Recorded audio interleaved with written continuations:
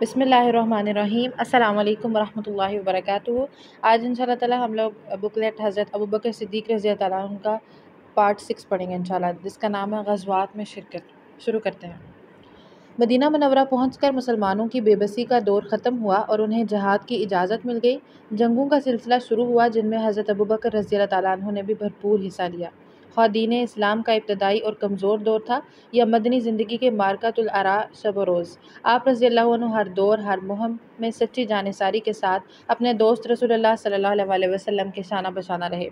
गजवा बदर। जंग बदर के मौका पर रसूलुल्लाह सल्लल्लाहु अलैहि ने किबला रू होकर हाथ फैलाए और अपने रब से दुआ करने लगे। जिसका मफहम था कि ए अल्लाह, मेरे साथ तूने जो वादा कर रखा है, वो पूरा कर दे। ए अल्लाह, अगर ये मुट्ठी भर अहल इस्लाम तूने ख़त्म कर दिए तो फिर कभी ज़मीन पर तेरी इबादत ना की जाएगी। रसूलुल्लाह सल्लल्लाहु अलैहि वसल्लम आज हद अज्जो इनकसारी के साथ देर तक दुआ करते रहे हती कि आप सल्लल्लाहु अलैहि वसल्लम के शानों से चादर गिर गई।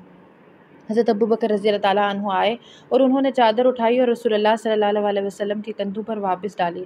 फिर पीछे से उन्होंने रसूलुल्लाह सल्लल्लाहु अलैहि वसल्लम को पकड़ लिया और अर्ज़ किया हसबू का या रसूलुल्लाह अल्लाह तो अला रब्बिक अल्लाह के रसूल सल्लल्लाहु अलैहि वसल्लम, आपको अल्लाह काफ़ी है। आप सल्लल्लाहु अलैहि वसल्लम ने अपने रब के आगे बहुत आहुजारी कर ली है। तब रसूलुल्लाह सल्लल्लाहु अलैहि वसल्लम उठे और ये आयत पढ़ते हुए बाहर निकले, सयुहज़मुल जम वयुवल्लून दुबुर।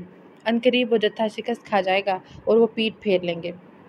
बदर के मौका पर रसूलुल्लाह सल्लल्लाहु अलैहि वसल्लम की हिफाजत करने वालों में हज़रत अबू बकर रज़ी तु पेश पेश थे। इस गजवा में आप, आप रज़ी अल्लाह के बेटे अब्दुलरहमान कुफ़ार की जानब से लड़ने आए। उन्होंने अभी तक इस्लाम कबूल नहीं किया था।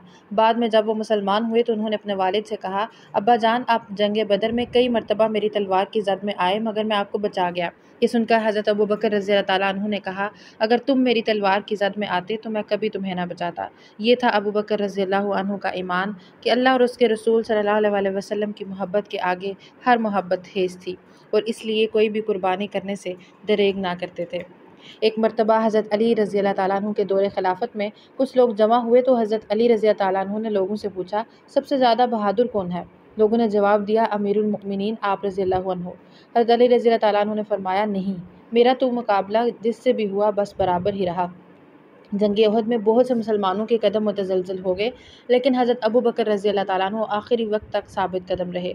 जब रसूल सल्लल्लाहु अलैहि वसल्लम ज़ख्मी हुए और पहाड़ की तरफ़ से तशरीफ़ लाए तो हज़रत अबू बकर रज़ी तु भी रसूल सल्लल्लाहु अलैहि वसल्लम की हिफाजत के लिए उनके पास पहुँच गए। कुरैश का लश्कर जब वापस लौटने लगा तो अबू सुफियान ने पहाड़ के करीब आकर पुकारा, क्या तुम्हारी कौम में मोहम्मद अलैहि वसल्लम है? कोई जवाब न मिला तो उसने हज़रत अबू बकर रज़ी तु और हज़रत उमर रज़ी तु का भी नाम लिया, जिससे मालूम होता है कि कुफ़ार भी रसूल अलैहि वसल्लम के बाद इन हजरात को इस्लाम के जाने साथ जानते थे। गजवाहद के अगले रोज़ रसूल सल्लल्लाहु अलैहि वसल्लम की एक पुकार पर मुसलमान ज़ख्मों से चूर चूर होने के बावजूद कुफ़ार के ताकुब में लश्कर लेकर निकले तो हज़रत अबू बकर रज़ी भी इसमें पूरे अज़म के साथ मौजूद थे।